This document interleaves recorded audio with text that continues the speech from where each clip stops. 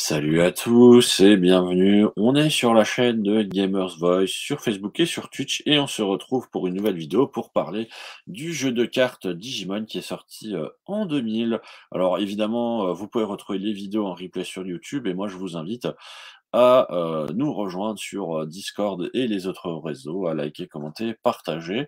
Et on va parler aujourd'hui du starter deck Venomous Violette, donc le violet Venom. Euh, que vous voyez à l'écran, qui est le troisième deck starter de la deuxième série euh, des starters et qui est donc le dernier starter deck dont on, va parler puisque euh, là on a fait les huit starter decks qui sont sortis pour le moment.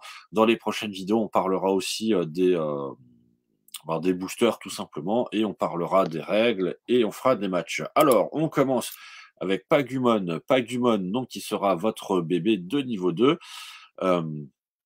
Alors, vous voyez que euh, quand Pagumon est euh, détruit, vous pouvez euh, détruire les deux cartes, enfin, vous pouvez mettre les deux cartes du dessus de votre bibliothèque dans votre, dans votre cimetière. Donc, vous allez voir tout de suite que là, on est sur un deck qui se rapproche sans doute d'un deck noir dans Magic, un deck noir qui un deck noir réanimation même dans Magic, hein, qui consiste simplement à mettre euh, ses cartes dans son cimetière et à pouvoir euh, réanimer, euh, faire revenir en jeu ses Digimon, ben, comme dans Magic.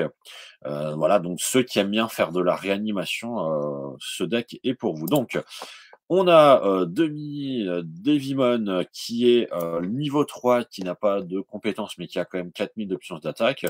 On a un Gabumon qui est euh, violet, qui est de niveau 3. Vous voyez d'ailleurs que les Gabumon, en général, ont toujours des puissances d'attaque assez faibles, en 1000-2000, mais ils ont toujours des, euh, des, compétences assez intéressantes. Quand il attaque, tout simplement, euh, trigger, draw. Donc vous pouvez piocher une carte au moment où il attaque. Ça, c'est extrêmement puissant. puisque évidemment, il y aura forcément des Digimon plus puissants qui seront posés sur lui, donc vous, vous aurez des attaques assez intéressantes.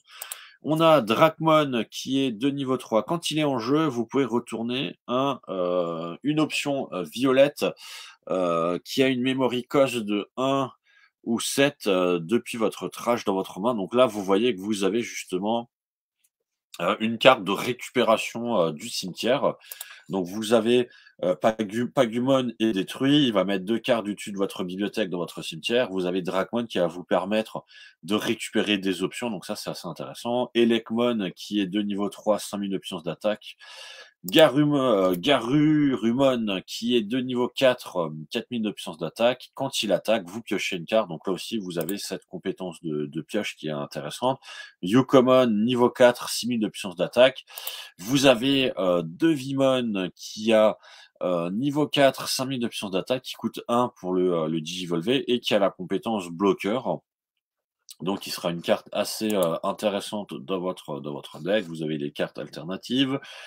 Kyukimon, niveau 5, 9000 de puissance d'attaque. Alors, on a Skull Satamon qui est de niveau 5, 7000 de puissance d'attaque. Quand il digivole, vous pouvez renvoyer une carte Digimon euh, violette euh, depuis votre cimetière à votre main. Donc vous voyez là aussi, hein, vous avez une carte de, récupération.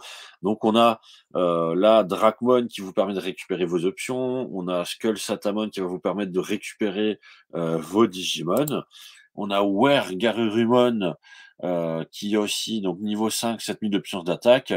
Euh, si vous avez 5 cartes euh, au plus dans votre cimetière, il gagne plus de 1000 de puissance d'attaque. Donc là, vous voyez aussi l'utilisation du cimetière. Vous avez Venom Myotismon qui a 11 000 de puissance d'attaque, niveau 6.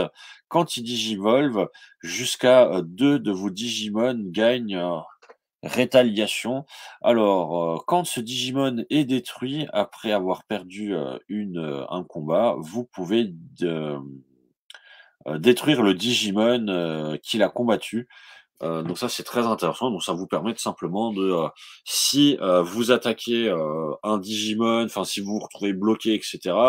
si vous avez des bloqueurs qui bloquent un Digimon adverse, s'il est détruit, vous allez pouvoir détruire le Digimon adverse. Donc ça vous permet de pouvoir gérer un petit peu aussi les Digimon de vos adversaires.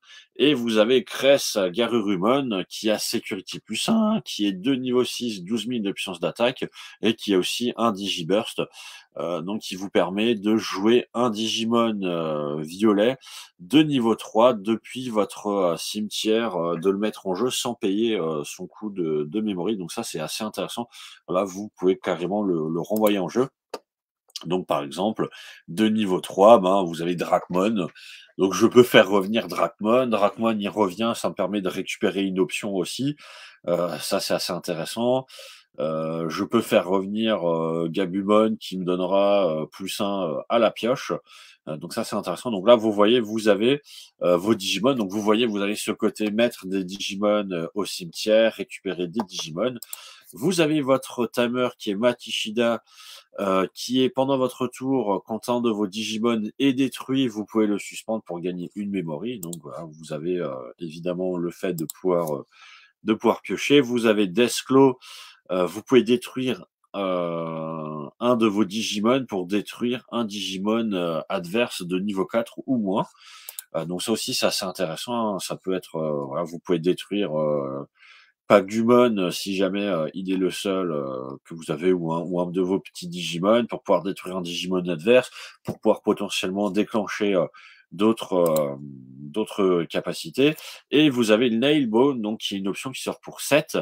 vous pouvez jouer un Digimon de niveau 3 et un Digimon de niveau 4 depuis votre trash sans payer les coûts de mémoire. Euh, par contre, euh, les, euh, les, compétences en jeu de vos Digimon ne seront pas activées. en tout cas, ça vous permet de pouvoir récupérer des Digimon de niveau 3 et de niveau 4, de les mettre en jeu. vous voyez qu'en niveau 3, en niveau 4, il y a quand même des Digimon assez intéressants. Euh, et euh, on play, il y a surtout euh, qui va s'activer et les autres, voilà, n'ont pas de, compétences on play, donc ce sera toujours intéressant à jouer. vous voyez les options, hein, donc il y a une option qui coûte 1, une option qui coûte 7, donc ce qui fait qu'effectivement ça rentre en jeu directement avec Dracmon. moi, encore une fois, je vous invite à ce deck au moins une fois. Vous avez une très bonne base pour justement un, petit deck, comme je le disais, à la Black Reanimation en, en Magic, le fait de voilà, si vous complétez le deck avec des cartes qui vous permettront de mettre plus de cartes dans le cimetière rapidement et des cartes qui vous permettent de faire revenir des Digimon, donc ça vous permet d'avoir un, deck qui fait des, euh, des retours de Digimon assez intéressants. Voilà, donc c'était le dernier, euh, la dernière présentation de, starter deck, euh, des starter decks qui sont sortis pour le moment. Euh, on fera de la présentation de boosters dans les prochains et n'hésitez pas à nous suivre et à nous rejoindre sur Discord. Moi, je vous dis à la prochaine.